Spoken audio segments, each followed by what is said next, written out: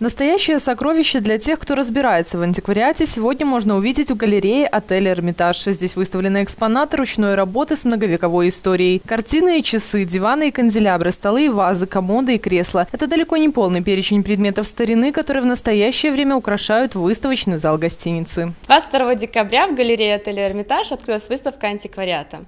На экспозиции представлены 27 предметов интерьера 17, 18 и 19 веков. А экспонаты вы выполнены из бронзы, мрамора и редких пород дерева. Уникальное произведение искусства не просто выставочные экземпляры. Каждый из экспонатов можно приобрести в частную коллекцию. Безусловно, стоит такое удовольствие недешево, как и любой редкий штучный товар, имеющий богатую историю. Однако и это может подтвердить любой коллекционер положительные эмоции, которые дарит факт владения эксклюзивом, таких денег действительно стоит.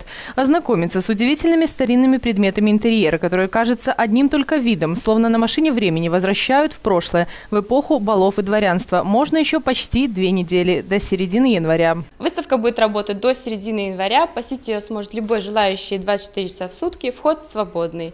Приходите, ведь отель «Эрмитаж» – это исключительное место, где вас действительно ждут.